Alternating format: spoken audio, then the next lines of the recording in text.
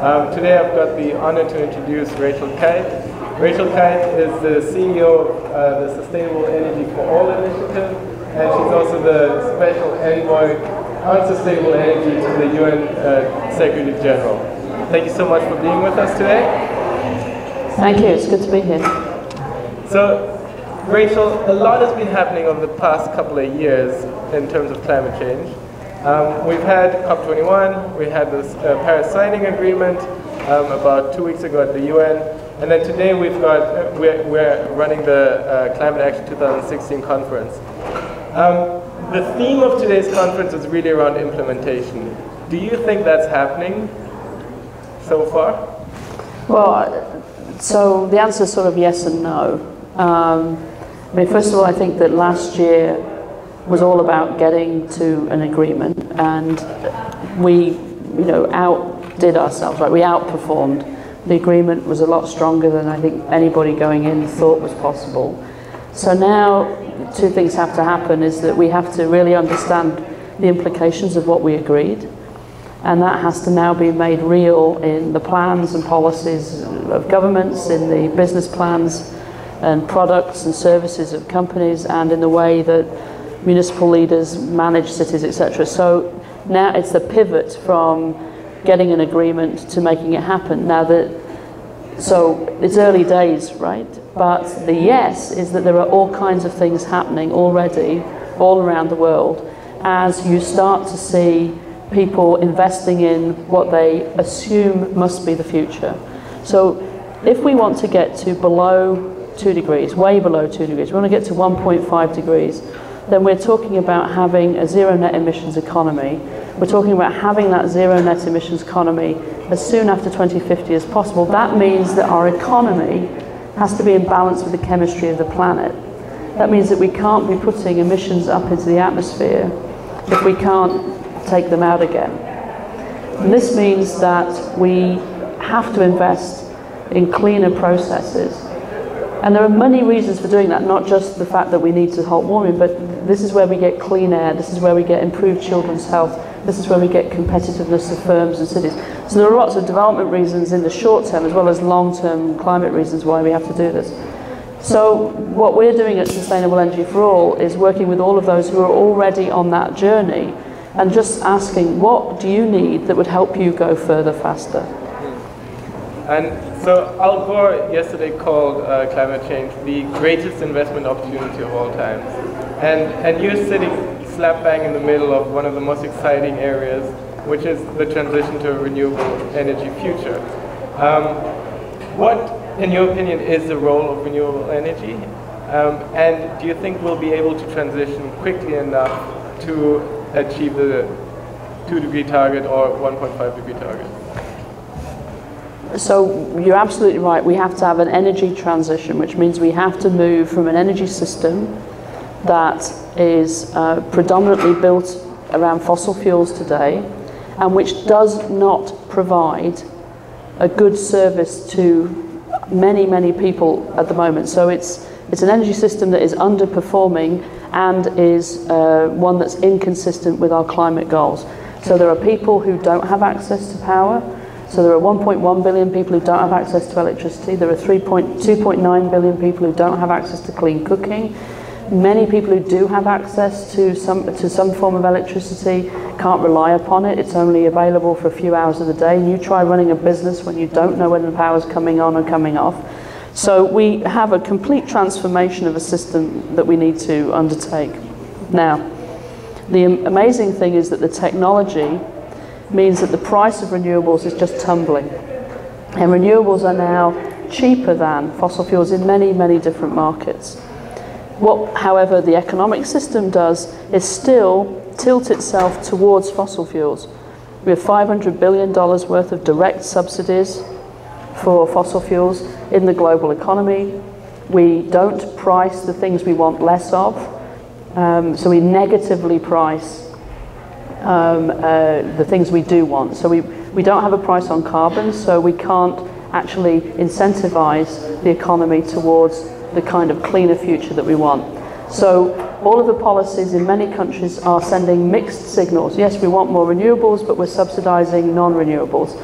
So if we could get a cleaner, level playing field, there is absolutely no way, no, no reason to believe that renewables couldn't be a much, much, much bigger part of, of the mix. And in countries that have put the right policies in place, where entrepreneurs are driving forward, we already start to see remarkable series of investments in Chile, in Morocco, in South Africa, in India, in China, in Saudi Arabia.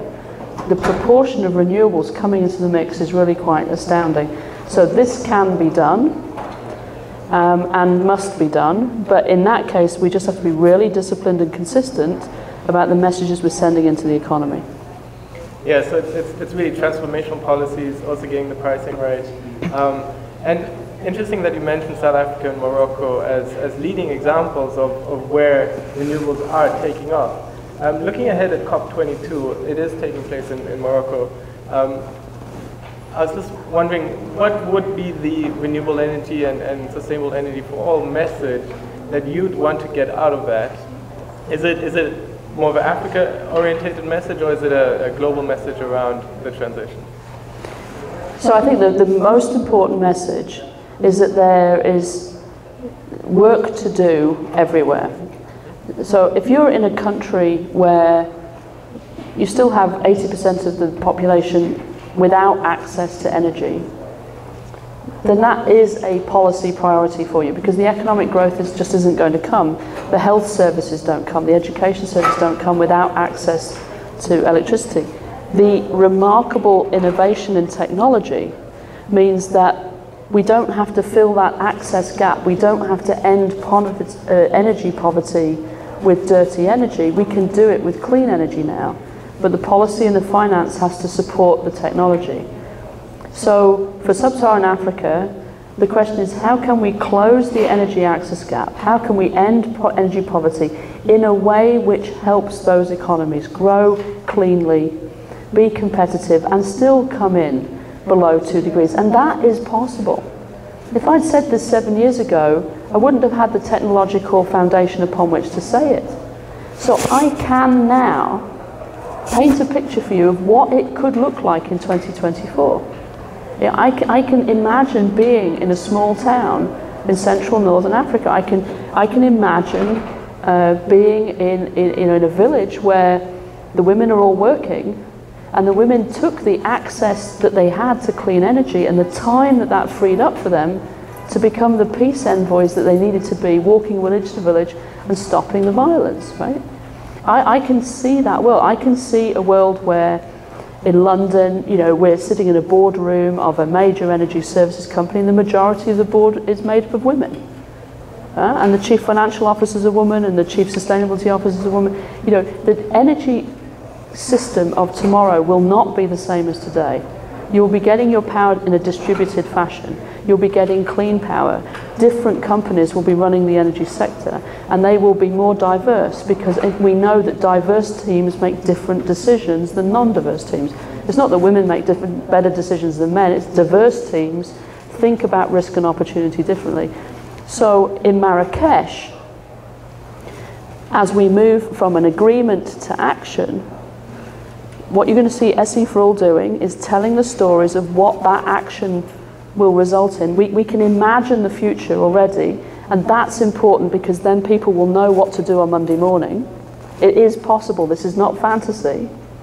You'll also see us talking about how everybody can take positive steps for action, how individuals can. If you are a student and you were in part of the divestment movement last year, we're going to be able to tell you where you should not divest from, but where to invest in. And you can invest in that energy future. And the mechanisms for you to be able to do that are under development. And by Marrakesh, we'll be able to show you how to do that. So I think we have to take everybody, every individual, every mayor, every community leader, every elected leader, every CEO, and, and, and push that leadership forward because we just don't have time. But to say that we can't imagine what the future looks like and that future isn't a better one than today, that's, we have to lay that to rest. I completely agree, and it's, it's amazing to hear such optimism and, and such visualization of the future. Um, I, I had experience with uh, Solar Mamas, it's a documentary where uh, impoverished African and, and Middle Eastern ladies are taught to be solar engineers, and they go back and spread peace and electrify their villages and create uh, entrepreneurships. Um, so yes, the, the role of women is going to be a, a, guiding force, but also the role of youth. So yeah. I, I, I'd like to hear what is your message for young people out there? Because it is this generation that is feeling the impacts of, of climate change, and it is this generation that has to solve the crisis. So you are heavily vested in this transition working because the good jobs are going to come in that transition. You are heavily vested, therefore, in the decisions being made now that will create the policy environment for those kinds of firms to flourish. You do not want to be graduating high school, graduating college, going into a technical profession for which there is no future. You do not want a low paying job in an industry that is sunsetting or which is going to be transforming.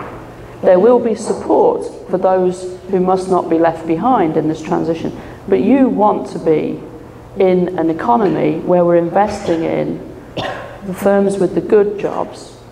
And the good jobs are going to be clean jobs. They're going to be the different kinds of jobs. It's going to be in the installation and the maintenance and the distribution and the new business models of new forms of energy. I was just in Iceland, where, of course, they have a remarkable geothermal capability, an abundant, cheap form of energy, and an abundant, cheap form of heating, and a way to diversify industry on this volcanic island in the middle of nowhere. And there in the classrooms were Zambians and Kenyans and Indonesians and Chinese and Hungarians and Romanians and young people from all over the world, many of them women, mastering the geoengineering, the geochemistry, the geophysics, the, the, the mechanical engineering of what it means to capture geothermal energy because what kind of career will that be? That, that's a promising, well-paying, good job for this generation and the next generation. So you have a real interest in making sure that government is taking the barriers out of the way from these industries from growing. You have a real interest in where people are investing now. You may not have a pension now, but you're going to need one sooner or later. And the pension funds that you will participate in, the endowment funds of the universities that you will study in, must be putting their money into safe long-term bets. Because if they're putting money into industries that will not be competitive in a very short pace of time, so if they're investing in what we call stranded assets, your pension is in real trouble. You're a voter. It matters. We are long past denial. This is happening. It's happening now. It doesn't discriminate between red states and blue states. Doesn't matter whether you're a conservative or a liberal. If you're sitting in the eye of a storm, which is more intense than we've ever seen before because of the warmth of the ocean, because of climate change, it won't discriminate. But you do want an elected leader, you want a city council leader, you want a mayor, you want a president, you want a prime minister that gets it, that is prepared to look it right in the eye, is prepared to invest in your resilience, and is prepared to invest in your future. It matters. So whether you're a voter, a student, a pension uh, holder, or somebody who will save and have pensions in the future, every aspect of who you are is going to be affected by climate change, and you are vested now. This is not something you'll pick up when you're 35. Don't wait till you have kids. You've got to act now, and you've got to speak out now. I completely agree. We have to act right now. Um, just one more question on sustainable energy. So, sustainable energy comes in many different forms, and I think that's potentially what's so exciting about it. Uh, we hear a lot about uh, solar PV. We hear a lot about wind.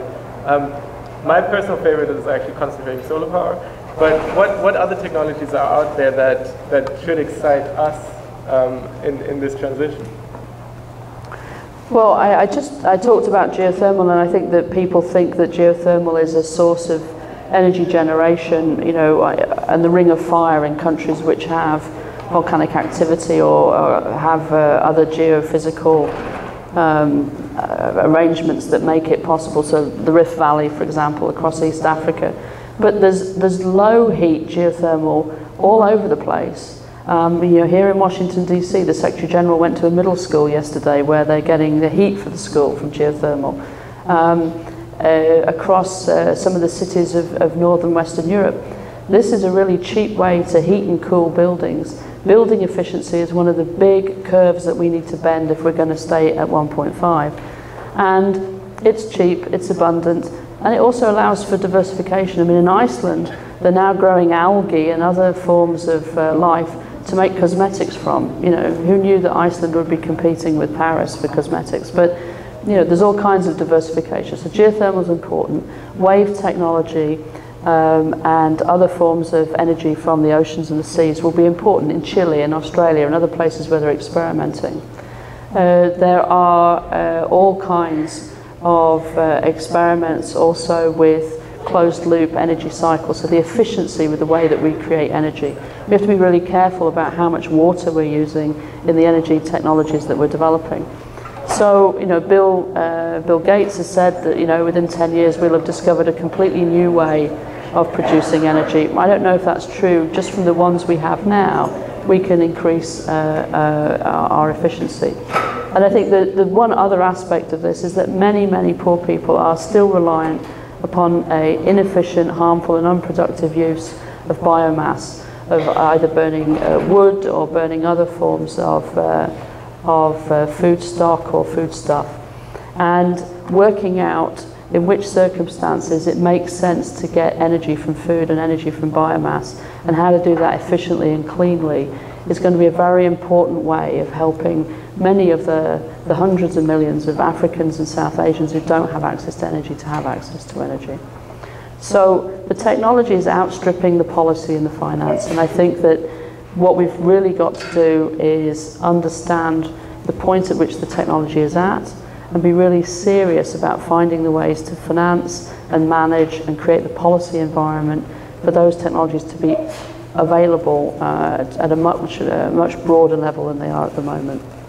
Well, thank you so much. I think we're very much in a very exciting space and a very exciting time, and, and there's a lot of progress, and uh, sustainable energy for all is in the midst of it. Thank you so much. No, thank you. Thank you very much.